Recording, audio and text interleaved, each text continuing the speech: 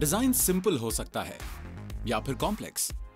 इसे पर्सनल होना चाहिए और इसमें होनी चाहिए एक फीलिंग। जहाँ भी मेरी नज़र पड़ती है मुझे दिखते हैं पैटर्न्स टेक्सचर्स ह्यूज कॉन्टोर्स और कलर्स लेकिन इन सबसे ऊपर मुझे दिखती हैं कहानियाँ waiting to be told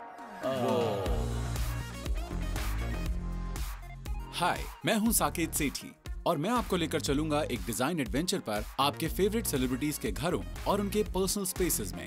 हम जाएँगे हर एक कोने में, ये देखने के लिए कि वो एग्जैक्टली exactly रहते कैसे हैं। इतना ही नहीं back at my design H मैं आपके लिए डिज़ाइन और क्रिएट करूँगा समथिंग स्टनिंग जो इन ब्यूटीफुल स्पेसेस से इंस्पायर्ड होगा।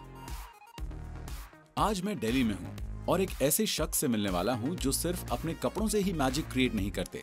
बल्कि अपने फ्लैगशिप स्टोर से भी उन्होंने एक अलग दुनिया बनाई है।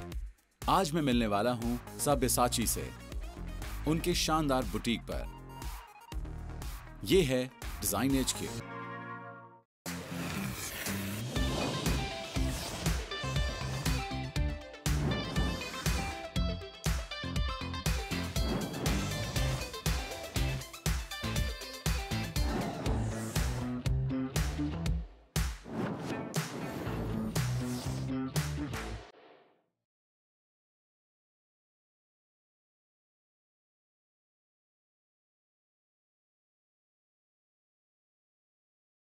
Hello. How are you? Long time, huh? How are you? मैं बिल्कुल ठीक हूँ Come, Can't go wait. inside. Let's go. So, uh,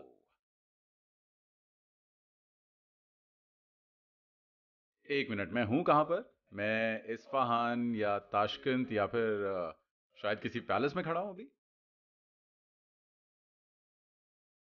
ये सब आपने बनाया है आप ये बात जानते हैं कि मुझे बहुत पसंद है मैक्सिमलिज्म और अब तो ये मेरा ऑब्सेशन भी बन गया मुझे अच्छा लगता है ये कि इसमें एक स्टोरी टेलिंग इन्वॉल्व है। अगर आप मेरे स्टोर में आएँगे Yeah. अंदर जाते ही आप रियलाइज़ करेंगे कि उसमें नेचुरल लाइट कोई नहीं है। Absolutely. हमने सारी नेचुरल लाइट ब्लॉक कर दी है।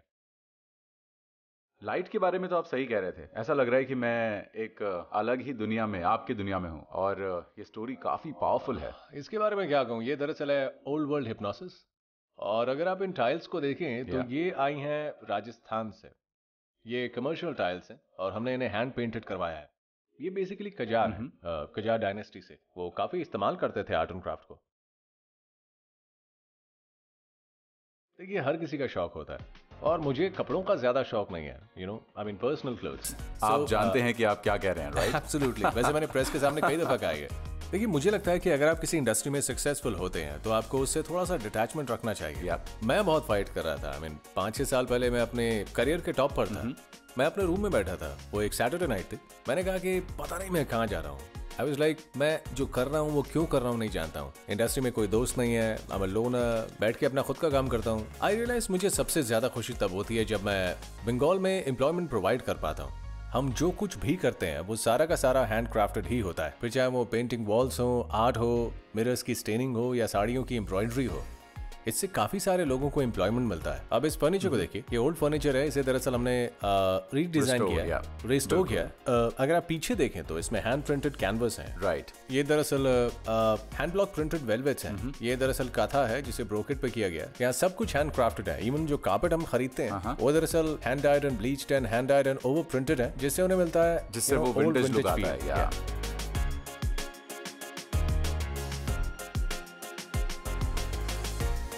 मेरे फादर बहुत ही गरीब फैमिली के थे। वो रिफ्यूजी थे बांग्लादेश से, लेकिन मेरी मदर बहुत ही रिच फैमिली की थी। वो दरअसल थे rice mill owners as a middle class child मैं अच्छी अच्छी जगहों पर जाना चाहता था, लेकिन पैसों की दिक्कत होती थी। तो मैं एक ऐसा स्टोर क्रिएट करना चाहता था, जहाँ लोग सिर्फ़ खरीदारी के लिए ना आए। मैं बोलता हूँ कि आप खरीदारी के लिए मत आइए, आप देखिए मेरे स्टोर को। मैं कुछ ऐसा क्रिएट करना चाहता हूँ जो इंस्पायर करे इंडिया के लोगों को खास करके यंग जनरेशन को। क्योंकि मुझे लगता है वो काफ़ी चीज़ों से कटे हुए हैं जैसे कि गुड म्यूज़िक गुड लिटरेचर और ये जगह दरअसल इंस्पिरेशन है उन स्टूडेंट्स के लिए भी जो यहाँ पर आते हैं। बहुत से लोग नहीं जानते कि कौन है असली सब्यसाची ये दरअसल ऐसा है कि आप जैसे मेरे घर में आ रहे हो। हालाँकि आप मुझे यहाँ नहीं पाएँगे लेकिन आप मेरे कुछ हिस्सों को यहाँ देख सकते हैं। मैंने इसे कुछ इस तरह से पर्सनल बनाने की कोशिश yeah. की है। ये वो किताबें हैं जो मैं बचपन में Oscar पढ़ता था ऑस्कर वाइल्ड जैसे। right. मेरे पास बुक्स लेने के पैसे नहीं थे तो मैं सेकंड हैंड खरीदता था कॉलेज स्ट्रीट से। तो ये बुक है सुशांतो की। गॉड ब्लेस हिम पता नहीं कौन है वो। पर मैंने किताब कहीं से खरीदी थी तो अब ये मेरी है और स्टोर में है। वो एक दिन स्टोर में आके इसे देख सकते हैं। मैंने कभी नहीं देखा कि किसी ने इस तरह से कारपेट को एक फ्रेम का बैकड्रॉप बनाया हो Right. इस तरह से आप मल्टीपल फ्रेम्स और मल्टीपल लेयर्स क्रिएट करते हैं ताकि आपका ध्यान स्टोरी पर जाए आइडिया यही है मल्टीपल मेमोरीज क्योंकि ये दरअसल मेरे घर की तरह है Yeah. और मैं इसे कहता हूँ हाउस ऑफ़ मेमोरीज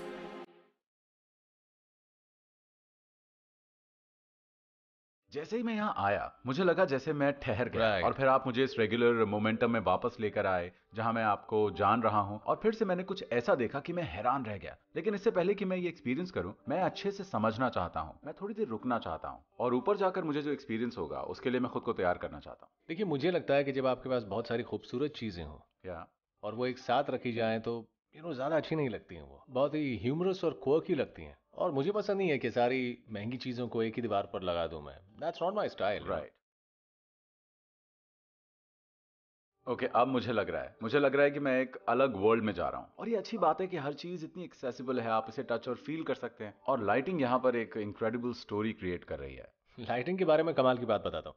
तो मेरे जो एच हैं उन्हें बहुत दिक्कत होती है एक ऐसा बंदा ढूँढने में जो इन लाइटों को साफ़ कर सके। तो फिर हमने सोचा कि क्यों ना क्लीनिंग सर्विस वालों से करवाएँ।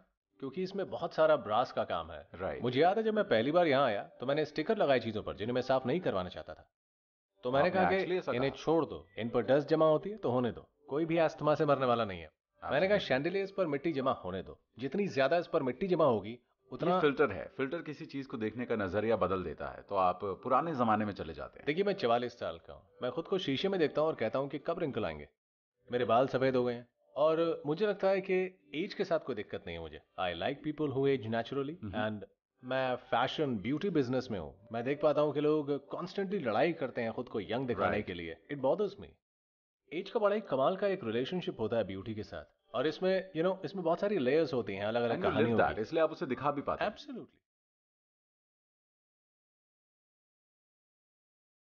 अगर आप किसी ऐसी चीज़ को देखें मैंने तांजोर्स पहले भी देखे हैं तो मैं जानता हूँ कि उनमें डेप्थ होती है लेकिन यहाँ तो गौ माता में एक्सट्रीम डेप्थ है और सारे गॉड्स और गॉडेसेस की डिटेल्स काफ़ी एक्सक्विजिट है। मैंने साढ़े तीन साल इंतज़ार किया तब जाके मिली थी What? एंड यू नो जब आप एंटीक्स खरीद रहे होते हैं तो आपको बहुत ज़्यादा इंतज़ार करना होता है। It's Yeah. फिशिंग आपको पेशेंस चाहिए right. इसके लिए। आप बस इंतज़ार नहीं कर सकते। आपको ढूंढना पड़ता है इन चीज़ों को। साथ ही सही प्राइस का इंतज़ार करना पड़ता है। देखिए एंटीक खरीदते वक्त आपको ध्यान रखना होता है नेगोशिएशंस का। Correct. अगर आप दिखाएँगे कि आप ज़्यादा डेस्परेट है तो तो, चीज़ें बहुत ज़्यादा महँगी हो जाएँगी क्योंकि और कहीं मिलती ही नहीं है।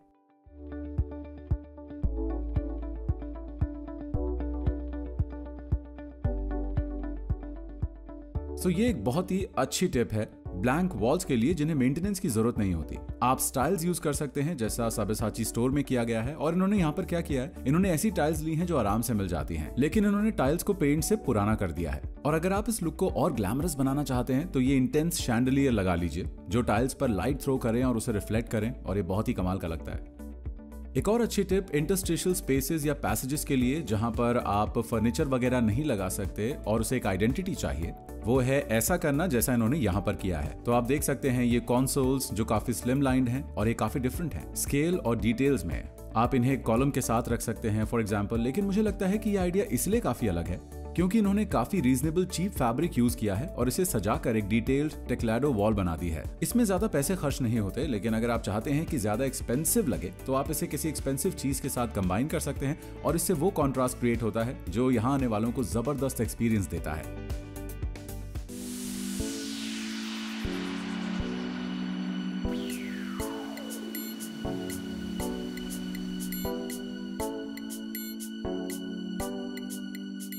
क्या तरीका है किसी चीज़ को डिस्प्ले करने का? आई थिंक डेप्थ एक कमाल का आइडिया है। देखिए क्लोथिंग के साथ एक चीज़ होती है खासकर जब आप हैंडीक्राफ्ट के साथ काम कर रहे हो तो आपको राइट Right. इन्हें रिस्पेक्ट देना होता है। Almost like museum quality display देना होता है क्योंकि जब इन्हें वो रिस्पेक्ट मिलती है जो डिजर्व Right. करते हैं तो लोग आर्ट एंड क्राफ्ट को रिस्पेक्ट करने लगते हैं। मुझे बहुत सारी चीज़ों से दिक्कत है। आई I मीन mean, सबसे पहले चेंज मैं जानता हूँ कि change is the only constant I don't know मैं आपको अपनी पर्सनल बात बताता हूँ कि जब मैं किसी जगह पर जाता हूँ और मैं किसी होटल में चेक इन करता हूँ तो जब मैं दोबारा वहाँ जाऊँ तो मैं उसी होटल में रुकना चाहता हूँ। और अगर हो सका तो उसी सेम रूम में भी यहाँ तक कि मैं सेम रेस्टोरेंट में जाना चाहूँगा। क्योंकि यू नो जब आप एक ही जगह बार बार जाते रहते हैं तो आप एक रिलेशनशिप बिल्ड करते हैं। It's not like one night stand मुझे लगता है पूरी दुनिया ही वन नाइट स्टैंड पर टिकी हुई है। Yep. क्योंकि हम लोग सर्व कर रहे हैं channels we are skimming through things मुझे लगता है हम लोगों की इनसिक्योरिटी से काफ़ी पैसा कमा सकते हैं। दैट्स ट्रू क्योंकि अगर- आप कुछ बेच नहीं पाएँगे। हाँ आई मीन उसको आप इनसिक्योर नहीं रखोगे तो वो खरीदारी नहीं करेगा। वो बार बार आके चीज़ें खरीदेगा और और उतने ही ज़्यादा पैसे खर्च करेंगे। हाँ उतने ज़्यादा पैसे खर्च करेगा। यू नो ये दरअसल बन गया एक तरह का साइक्लिक नेगेटिव इन्वायरमेंट आपका बॉलीवुड के साथ एक रिलेशनशिप है। ये कैसे स्टार्ट हुआ? कैसे हुआ ये सब? वैसे तो काफ़ी सारे मूवी स्टार्स है जो मेरे बनाए कपड़े पहनते हैं। तो उन्हें एक सेंस ऑफ़ आइडेंटिटी मिलती है चाहे वो कंगना हो दीपिका हो या बिपाशा। यू नो वो हमेशा सेंटर पार्ट हेयर करती हैं। एक बिंदी लगाती हैं साथ में मोगरा और साड़ी पहनती हैं। ज़्यादातर लड़कियाँ जो बॉलीवुड में मेरे कपड़े पहनती हैं वो सारे बॉलीवुड आउटसाइडर्स हैं। They don't belong to film families and I think I think ये सेल्फ मेड क्वेश्चन है क्योंकि मेरा जो ब्रांड है ये उन लोगों के लिए जिन्होंने खुद पैसा कमाया है। वो अपने खुद के हिसाब से अपनी लग्जरीज को जीने लगे हैं। एंड आई थिंक वो लोग जो खुद को लेकर कॉन्फिडेंट महसूस करते हैं कि वो कौन है वो इवॉल्व हो गए हैं एक्सेप्ट करने के लिए इंडिया को कि वो कैसा था।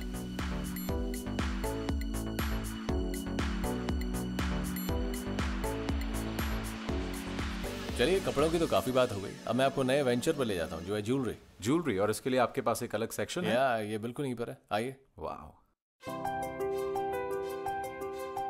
वाओ आपने तो ज्वेलरी के लिए एक बिल्कुल अलग रूम बनाकर रखा है। यस पर एक अलग रूम क्यों?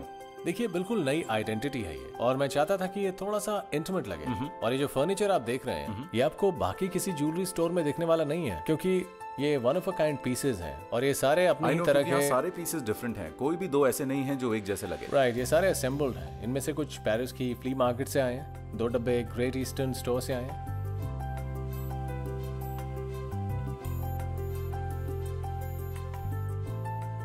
मैंने ज्वेलरी बनाना शुरू किया इन इंस्टाग्राम पिक्चर्स की वजह से और व्हाट्सएप पर जो डिस्प्ले पिक्चर्स होती हैं उनकी वजह से। वो काफ़ी सारी ब्राइड्स के लिए ग्रूम से ज़्यादा ज़रूरी हो गई हैं। और मुझे लगता है कि आप अपनी इंस्टाग्राम पिक्चर्स और अपनी व्हाट्सएप डिस्प्लेज में आप जैसा नज़र आते हैं उससे पता चलता है कि आपका ब्रांड है उसकी चॉइस कैसी है। और मैंने देखा है कि ज़्यादातर पिक्चर्स जो हैं वो हाफ़ होती हैं। उनमें कपड़े ज़्यादा नहीं दिखते लेकिन खराब ज्वेलरी काफ़ी नज़र आती है। कंट्री में ऐसा कोई भी ज्वेलर नहीं था जो कि क्लोथिंग और इंडिया के विजन के साथ वैसा जस्टिस कर रहा हो जैसा मैं चाहता हूँ। तो मैंने कहा कि जब कोई मेरे साथ नहीं है तो मैं खुद ही बना लूँगा। तो इसीलिए मैंने चैलेंज रहा होगा एक ऐसी चीज़ करना जो कि वेल यस और नो लेकिन सच्चाई ये है कि बहुत से लोग ये नहीं जानते कि मैं इस बिज़नेस में भी रह चुका हूँ। What? मैं कॉस्ट्यूम ज्वेलरी कर रहा था और तब मेरी मुलाकात हुई कोयना मित्रा और बिपाशा से यहाँ कैलकाटा में। वाओ वैसे मुझे काफ़ी नॉलेज है ज्वेलरी की और मैं कोई ज्वेलर नहीं हूँ बाय बर्थ और सच कहूँ तो मैं ज़्यादा नहीं बोलूँगा लेकिन मुझे कई ज्वेलर से कहीं ज़्यादा अंदाज़ा है इसके बारे में।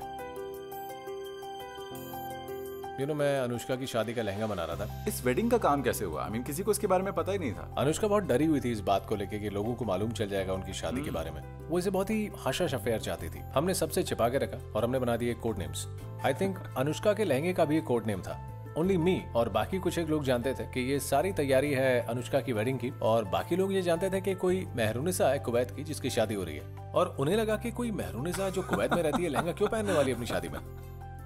शी इज़ अ पहाड़ी गर्ल और उसने मुझसे कहा कि मैं बिल्कुल वैसी लगना चाहती हूँ। I want to pay homage to my roots जहाँ से मैं आई हूँ।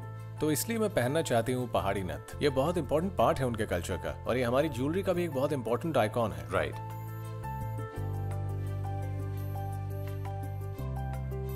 सागे चलिए मैं आपको दिखाता हूँ वो जगह जहाँ ये सब खत्म होता है। ये छोटी सी चेयर इस छोटी सी चेयर में ऐसी क्या खास बात है? देखिए होता क्या है? जब ब्राइड तैयार हो जाती है तो वो यहाँ आके बैठती है फिर हम उसे ज्वेलरी पहनाते हैं और जब उसका सर ढका जाता है तो मैं नोटिस करता हूँ कि उनके पेरेंट्स की आँखों में नमी होती है Really? यू नो जो माता पिता हैं लड़की हाँ। उनकी आँखों में आँसू होते हैं क्योंकि वो जानते हैं कि उनकी बेटी जाने वाली है और जो हम करते हैं उसका कमाल यहाँ नज़र आता है वो चीज़ हिट करती है उन्हें कि पूरी ज़िंदगी uh-huh. वो लोग इंतज़ार करते हैं इस बड़ी ट्रांजिशन का राइट और अ, ये और आप उसका एक पार्ट हैं आप उसे डिफाइन ये कर काफ़ी हमलिंग होता है। या। और हम उनके लिए बस एक ही काम करते हैं उन्हें मिठाई का डब्बा देते हैं और कहते हैं चलिए अब आप मुँह मीठे की नाउ ये तो मुझे जैसा मैंने कहा था एक क्लासिक ब्रिटिश होटल की लॉबी जैसा लग रहा है। यस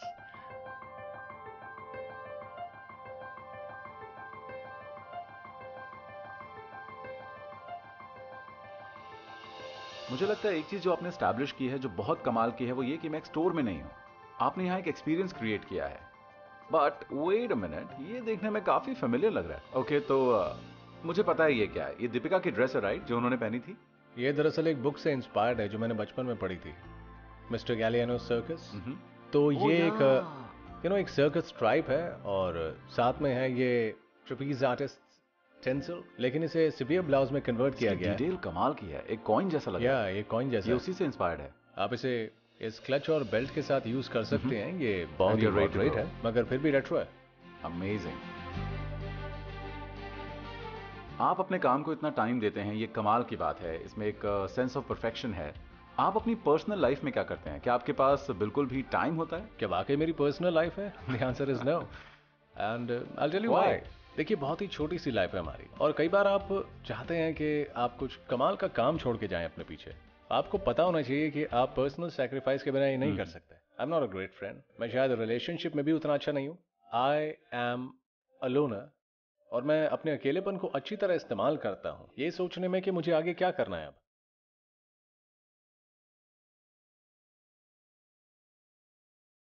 और आप इस बात को मानेंगे नहीं लेकिन हमारे एक लकी व्यूअर को एक सर्टिफाइड सब्यसाची पीस मिलने वाला है। मुझे नहीं पता है क्या है। चलिए इन्हीं से पूछते हैं। वेल well, मुझे इनका पर्सनल टेस्ट तो नहीं पता लेकिन शायद oh. हर कोई चाहता है खूबसूरत हैंडबैग ये ब्लैक वेलवेट में है और इसमें कोलकाता का काफ़ी सारा बीड वर्क हो रखा है। और अब मैं इसे साइन करने वाला हूँ तो जिसको भी मिलेगा। वन रियली लकी व्यूअर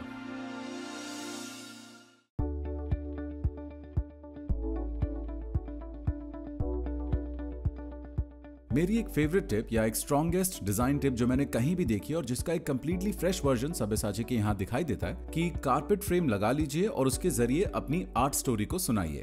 तो आप अपने फेवरेट आर्ट वर्क को लीजिए और उसे थोड़ा सा ड्रेसअप कर दीजिए थोड़ी सी फ्रेमिंग से और आप देख सकते हैं कि फैब्रिक स्टोरी और एक एज फ्रेम से उसका इम्पैक्ट कितना बढ़ जाएगा। फाइनली इसे वॉल पर लगा दिया जाता है कारपेट के साथ और इसे एक फ्रेम भी दिया जाता है और ये काफ़ी अच्छा लगता है। एक और कमाल की टिप है अपनी आर्टवर्क स्टोरी को और ऑथेंटिक बनाना, जो मैंने यहाँ सबेसाची स्टोर में देखी है और मुझे इस लुक की सबसे अच्छी बात यह लगी कि आप फ्ली मार्केट से आर्ट वर्क्स ले सकते हैं और उसमें एक फ्रेमिंग डिटेल ऐड कर सकते हैं, लेकिन अगर आप थोड़ा पास से देखेंगे तो इनमें से कुछ असली फोटोग्राफ्स हैं और फोटोग्राफ्स जो पुरानी हो चुकी हैं। तो आप एक पर्सनल टच डाल सकते हैं अपनी खुद की फोटोग्राफ से और अपनी आर्ट स्टोरी बना सकते हैं और आप जैसी चाहें वैसी स्टोरी बना सकते हैं। अगर आप इसे और ज़्यादा इंटेंस और वार्म बनाना चाहते हैं तो आप वॉल पर कार्पेट स्टोरी को कंटिन्यू कर सकते हैं।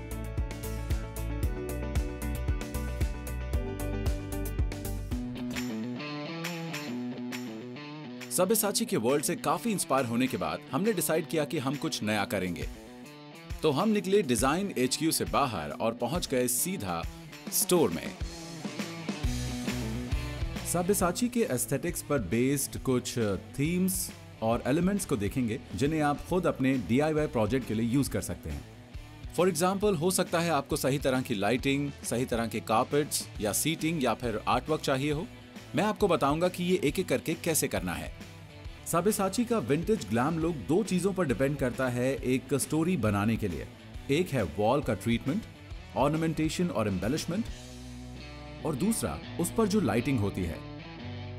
लाइटिंग के लिए जब आप एक पीरियड शैंडलियर लेते हैं तो आप दो क्राइटेरिया देखते हैं। पहला कलर और दूसरा स्केल इस पर्टिकुलर केस में मेरे पास एक स्टैंडिंग शैंडलियर है, जो कि अपने आप में एक फोकस एलिमेंट है। आपको इसके साथ किसी और चीज़ की ज़रूरत नहीं है। लेकिन अगर स्केल एक इशू है तो आप दूसरे कलर्स और पेयरिंग शैंडलियर्स भी देख सकते हैं, जैसे कि इनके स्टोर में है। कई ऐसे क्लूज हैं, जिनसे आप सब्यसाची जैसी आर्ट स्टोरी डेवलप कर सकते हैं। फॉर एग्ज़ाम्पल अगर बात आती है सही तरह की आर्ट चूज़ करने की तो ये राजा रवि वर्मा से इंस्पायर्ड प्रिंट्स हैं और इनमें एक पर्टिकुलर डिटेल है, जो अगर आप पिक करते हैं तो आपको इसी तरह का लुक मिलेगा। तो आप देख सकते हैं कि यहाँ ज्वेलरी की एक ऑर्नामेंटल एम्बेलिशमेंट है फॉर एग्ज़ाम्पल या एक फैब्रिक स्टोरी है जो उसे और रियल बना देती है। एक बहुत ही क्लेवर और इम्पैक्टफुल डिज़ाइन इनोवेशन जो मैंने साबेसाची स्टोर में देखी, वो थे कारपेट्स नाउ ट्रेडिशनली आप कारपेट्स को फ्लोर पर रखते हैं, लेकिन इन्होंने क्या किया? इसे वॉल पर लगा दिया. ये बहुत ही अच्छा तरीका है वॉल में थोड़ी सी वार्मथ ऐड करने का और फ्लोर को खाली छोड़ने का. और मुझे लगता है ये एक बहुत ही अच्छा आइडिया है जो कोई भी यूज़ कर सकता है, अगर वो आर्ट या स्कल्पचर को हाईलाइट करना चाहें या सिर्फ़ वॉल पर थोड़ी सी वार्मथ लाना चाहें. और चलिए अब बात उस फर्नीचर की कर लेते हैं, जो इसे एक पर्टिकुलर सबेसाची लुक देता है. पीसेस हमेशा इंग्लिश या फ्रेंच क्लासिकल इंस्पायर्ड सीटिंग होते हैं, और साथ ही आप फैब्रिक स्टोरी भी बताते हैं। एक पर्टिकुलर तरीका होता है जिससे फैब्रिक स्टोरी बताई जाती है। आप या तो एक टोन या टोन फैब्रिक स्टोरी सुनाते हैं, या यही स्टोरी आप कॉन्ट्रास्ट से भी कर सकते हैं। ये सब्यसाची के रूल का एक्सटेंशन नहीं है, लेकिन एक जनरल रूल है। वो ये कि ट्रेडिशनल इंडियन हैंडीक्राफ्ट्स यूज़ कीजिए फर्नीचर बनाने में। फॉर एग्ज़ाम्पल ये कॉफ़ी टेबल इसमें आप ट्रेडिशनल इनले वर्क यूज़ कर सकते हैं एक ऐसा पीस क्रिएट करने में जो सीटिंग के साथ अच्छा लगेगा। सब्यसाची के मैजिक को और अच्छे से समझने पर आपको ये रियलाइज़ होगा की ये आर्ट्स और स्कल्पचर पर काफ़ी डिपेंड करता है। अपनी स्टोरी में कल्चर को रिप्रेजेंट करने का तरीका है एक सिरामिक स्टोरी आप सिरामिक प्लेट्स को वर्टिकली एक सरफेस पर इकट्ठा कर सकते हैं और उन्हें कॉन्सोल या एक टेबल की हॉरिजॉन्टल सरफेस पर ला सकते हैं, जैसे कि आप यहाँ पर देख पा रहे हैं। और इस लुक को फिनिश करने के लिए एक और स्कल्पचर ऐड कर सकते हैं, उसके ठीक सामने। और अब हम एपिसोड के उस पार्ट में आ गए हैं जहाँ एक लकी व्यूअर को एक गिफ्ट मिलेगा। और इस केस में ये सब्यसाची की तरफ़ से है और ये है उनका इनक्रेडिबल एम्ब्रॉयडर्ड क्लच आप में से एक लकी व्यूअर के लिए। उम्मीद है आपको सब्य साची की इनक्रेडिबल और इंटेंस दुनिया देखने में उतना ही मज़ा आया होगा जितना कि मुझे आया। I see you again soon till then आबार, देखा हावे